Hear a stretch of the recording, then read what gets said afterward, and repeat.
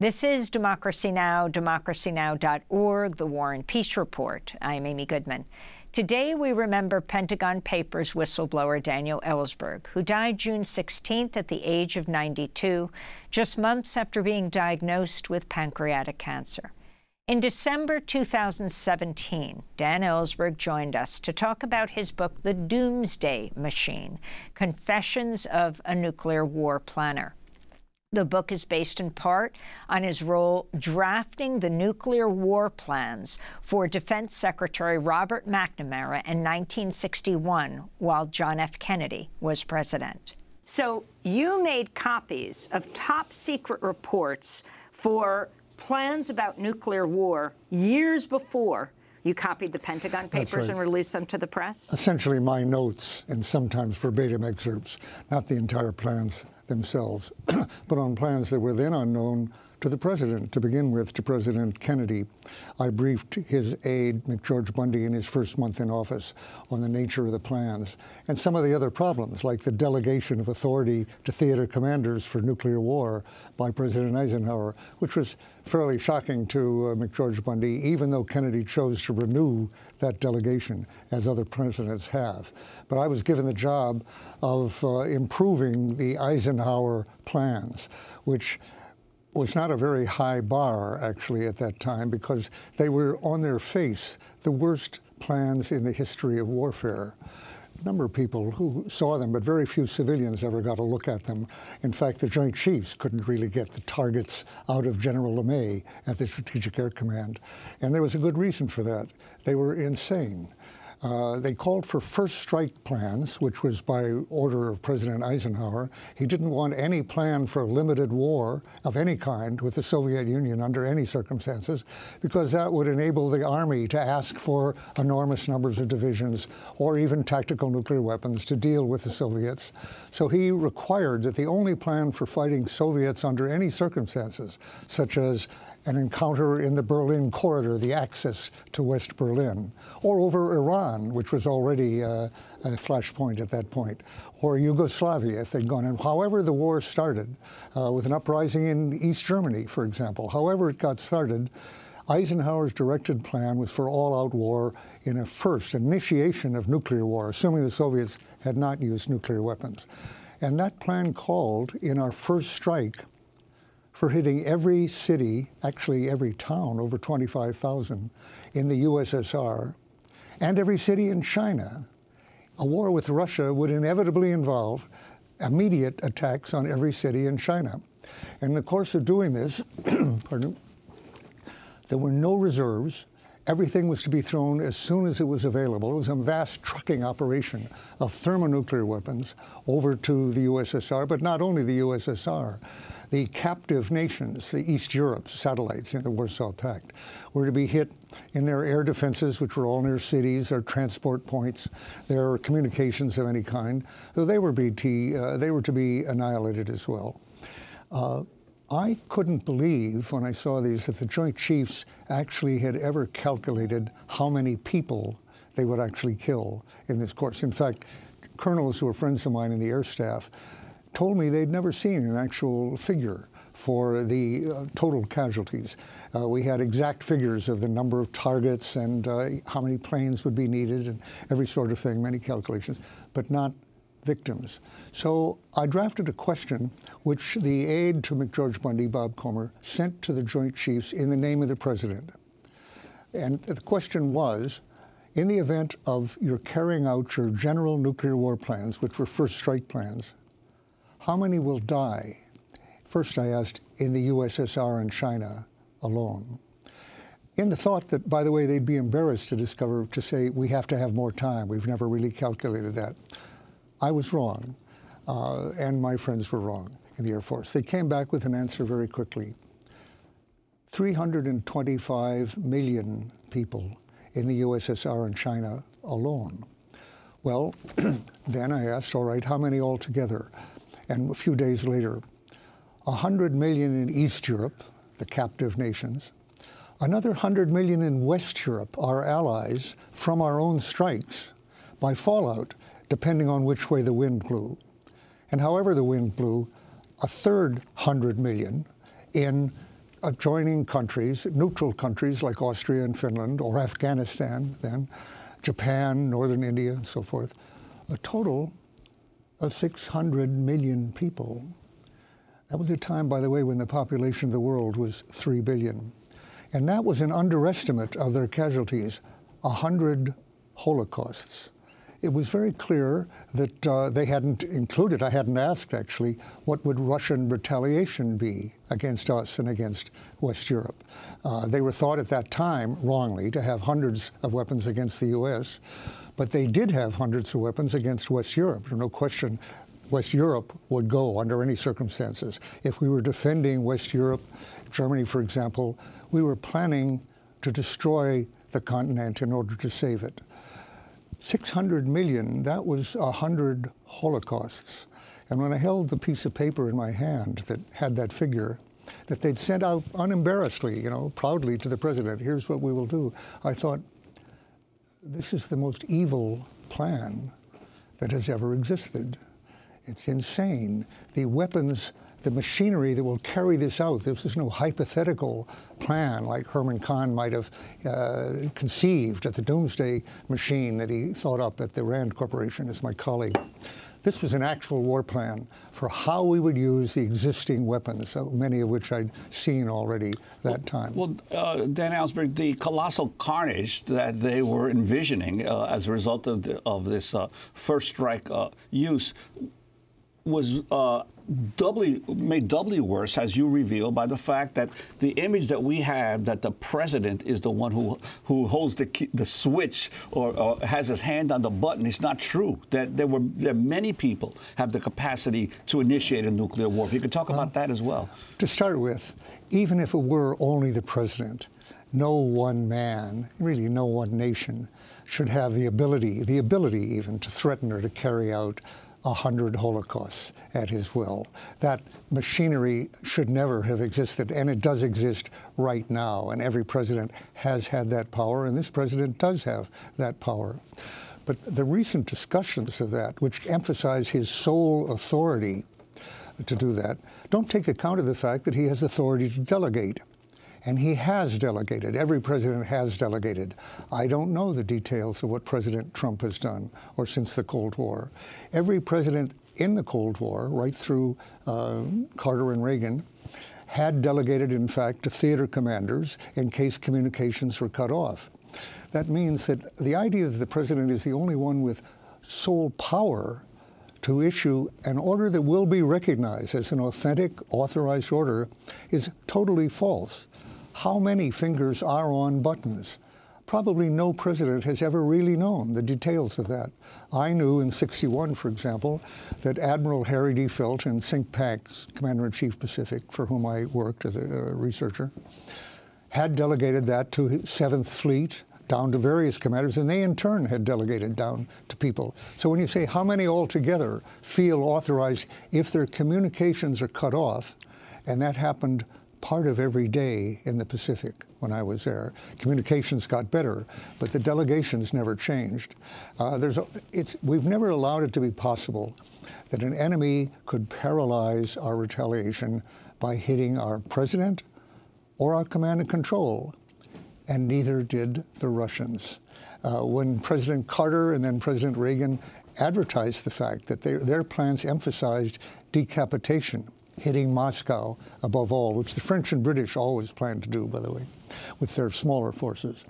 Uh, and when that became clear, the Russians instituted what they called a dead hand, a perimeter system in Russian, which assured that if Moscow was destroyed, other commanders would have the power and would be told to launch their strikes. There was even a plan to do that automatically by computer, as a number of our military always recommended to make the whole thing computerized, as in the Doomsday Machine of Herman Kahn and Stanley Kubrick.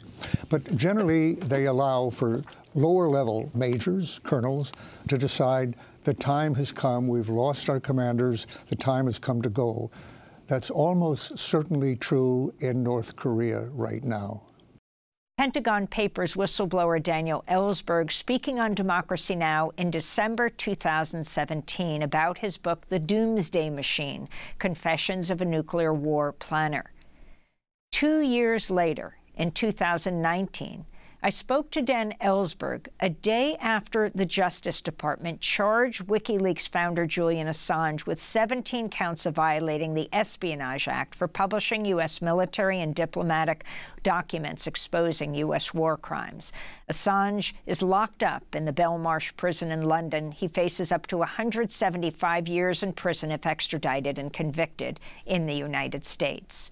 Yesterday is a day that will be live in the history of journalism, of law in this country, and of civil liberties uh, in this country because it was a direct attack on the First Amendment, an unprecedented one. There hasn't actually been such a significant attack on the freedom of the press, the First Amendment, which is the bedrock of our republic, really, our form of government, since my case in 1971, 48 years ago. But this is, uh, I was indicted as a source. And I warned newsmen then that that would not be the last indictment of a source if I were convicted. Well, I wasn't convicted. The, the charges were dropped on governmental misconduct, and it was another 10 years before anybody else faced that charge under the Espionage Act again, Samuel Loring Morison. And it was uh, not until President Obama that nine cases were brought, as I'd been warning for so long. But my warning really was that it wasn't going to stop there. Almost inevitably, there would be a stronger attack directly on the foundations of journalism against editors, publishers, and journalists themselves. And we've now seen that as of yesterday. That's a new front in President uh, Trump's war on the free press, which he regards as the enemy of the people. And the Trump administration saying Julian Assange is not a publisher, is not a journalist. That's why he is not protected by the First Amendment. In the face of this new indictment, uh, which, and let me correct something that's been uh, said just a little wrong uh, by everybody so far. He doesn't just face 170 years. That's for the 70, uh, 17 counts on the Espionage Act, each worth 10. Plus, he's still facing the five-year conspiracy charge that he started out with a few weeks ago. Uh, I was sure that the administration did not want to keep Julian Assange in jail just for five years. So I've been expecting these Espionage Act charges. Uh, I really expected them later after he was extradited, because adding them now makes it a little more complicated for Britain to extradite him now, as I understand it. Uh, they're not supposed to extradite for political offenses or for political motives, and this is obviously for both political motives and political offenses. So from Julian Assange's point of view, it makes extradition a little more difficult. Why then did they bring it right now? Well, coming back to the uh, to the case, by the way, that I faced, I faced only 11 uh, felony act charges, each worth 10 years in prison, plus a conspiracy charge worth five. So I was facing exactly 115 years in prison. He's facing exactly 175. Now, that's not a difference that makes any difference. In both cases, it's a question of a life sentence. I think that the reason they brought these charges so soon, uh, because they had until June 12th, uh, was to lay out, the necessity to lay out for extradition all the charges they planned to bring. And I don't assume these are the last ones. They've got a couple weeks left to string up some new charges. They started out with a charge that made Julian look something other than a normal journalist. Uh, the help to hacking a password sounded like something that even in the digital age, perhaps most journalists wouldn't do, and that would uh, hope to separate him from the support of other journalists. In this case, when they had to lay out their larger charge, this is straight journalism. Uh, they mentioned, for instance, that he solicited in, uh, in, uh, investigative material. He solicited classified information terribly. He didn't just passively receive it over the transom. I can't count the number of times I've been solicited for classified information, starting with the Pentagon Papers, but long after that, and that's by every member of the responsible press that I dealt with, the Times, the Post, AP, uh, you name it. That's journalism. So what they have done is recognizable, I think, this time to all journalists uh, that they are in the crosshairs of this one. They may not have known enough about digital uh, performance to help a source conceal her identity by using new passwords, as uh, Julian was charged with. They may not be able to do that, but every one of them has eagerly received classified information and solicited it. So uh, every journalist, and not only in this country, and not only at the federal level, already uh, Bryan Carmody in San Francisco has had his house broken into with sledgehammers to get all his material, uh, looking for his source in a uh, local dispute. Uh, Daniel Hale, an NSA, has uh, has been brought. I think that President Trump has, in effect, opened the doors to these kinds of constitutions in state and country jurisdictions, state and county, I meant to say, jurisdictions, and undoubtedly in other countries as well that may not have a First Amendment but have looking to some precedent for the United States. It's what it's, what it's able to do. So there's a full-scale multi, multi-front war going on not only in this country, and President Trump is leading the way. We end our show with Daniel Ellsberg in his own words, May 18, 2018, when I spoke to him at a Right Livelihood Laureate gathering at University of California, Santa Cruz. I asked him what message he had for government insiders who are considering becoming whistleblowers. My message to them is don't do what I did.